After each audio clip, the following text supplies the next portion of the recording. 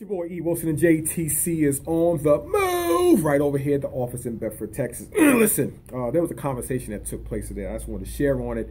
Um, a post on Facebook, and it was talking about this show that's out uh, called Love and Hip Hop.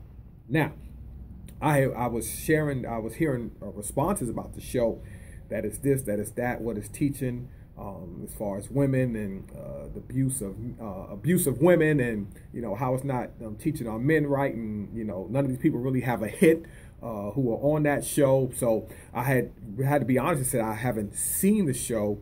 Um, I really don't watch a whole lot of TV.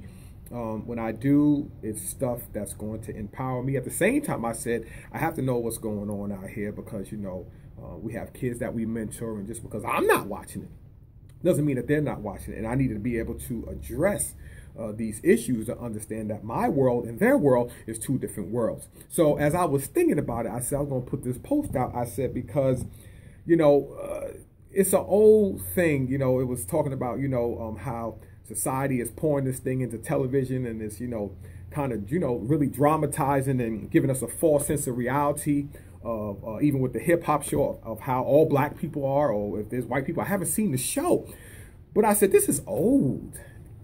This has been going on. It's just that we get to see it more now, and it's more blatant and in the open.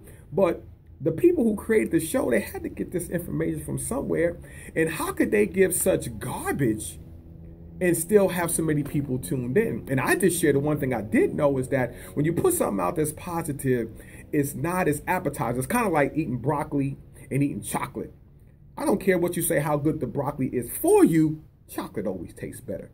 So when you look at this comparison of what's going on here in the world today, drama, sex, violence, guns, all of that stuff sells.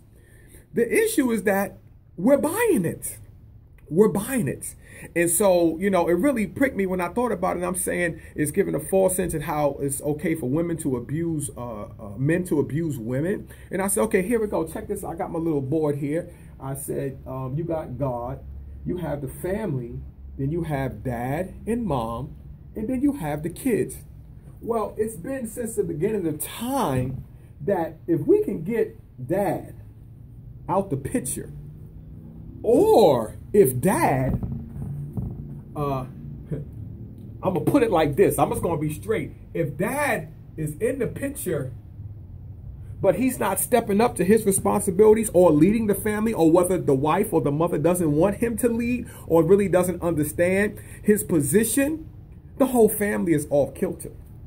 It's really like one and one is two. The family is off. So when you move that out the way, okay, and, and, and I just want to know that for a lot of men who have um, maybe walked away from their families, given up. Let me tell you something. I don't judge them brothers because, and I say brothers, that's men of all ethnic backgrounds. It's not easy to be what you're called to be. And though everybody wants you to be the man and step up, sometimes it's like, you know, uh, y'all really not trying to hear that. You know, it's kind of like the coach on the basketball team. Everybody wants to be the coach, but nobody wants to listen to the directions. And so if we're called to lead, we're called to lead, to guard, and protect. So I'm saying when you move him out the picture, this is what you have. And you have all these other influences, like my doctor's writing, that's coming into the home. And though mom may see some of it, she won't see it from the same angle as a father. And so I'm saying that to say that when I was thinking about it, and this ain't no promo, but when I was thinking about it, one of the answers, if you are confused with what's going on out here, you need to get this book from JTC mentor, Mr. Chris Daughtery. Because in the book, it's describing what's happening with love and hip hop. It's describing a mentality. It's not talking about that show, but the mentality is men, you know, how we've been abusing women for years. A lot of the abuse is from our own self-esteem issues. You know, women didn't have a father around. If they did, he wasn't really on his game. So she has a misconception of what the father is all about. So when she gets him, she really doesn't have a reference point, so she can't tell what's good and what's not, what is and what's not, you know, what's right and what's wrong. And so this book really um, is breaking it down. How we've been getting the women. They got low self-esteem. It doesn't matter how good she looks and her hips and her breasts and all that stuff. Low self-esteem. Not all. So don't get twisted. But a lot of them have low self-esteem. We judge them based on the outside. But there's an inside that we have yet to tap into to find out who she really is. So this book really, really breaks it down. And the feedback that we're getting from this book is phenomenal. So I'm not here to sell you a book. I'm here to give you an opportunity that if you really want to understand what's going on out here in the world today as far as men and women relationships our young boys and you know they're getting with these girls and they're having babies before they even get out of high school i mean it just goes on and on and on and on when dad is on the scene and he's on this game a lot of that stuff, nothing's perfect, but a lot of that stuff will be censored. A lot of that stuff will be caught because it's not about it not feeling good or what's going on. It's about what's best. And most times what's best for us, myself included, we don't want. We don't want. And it'll be easy to complain about what's going on to do something about it. So I'm saying, I'm not saying who's not doing something about it. I'm saying that this is why we're in the schools. This is why we're mentoring. It's because of stuff like that. We want to make sure that we give the kids another option. Another option. And I'm telling you, it's working.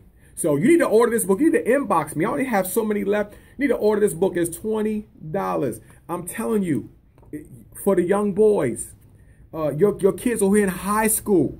You know, they're on the team. They're the star. They got all these girls coming at them.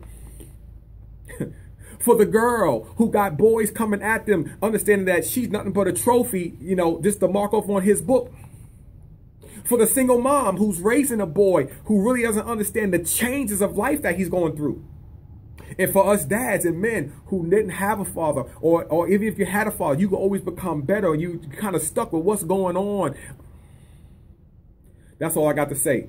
Inbox me, Give me a call, 817-681-3318. We're passionate about this. We're going to do something about it. I can post all day long about what's going on out here. But my thing is solutions. And the JTC is on the move. And we're changing the world through a conversation. So get a hold of me from Boys and Gentlemen. If you've seen the post, people are responding. It's touching people's lives. It's illuminating information. The kids just need information. They need another option. This your boy E. Wilson right here. JTC is on the move. Remember, you're going to have a conversation. Make it a good one and have a great day. Do something about what's going on. I'm out.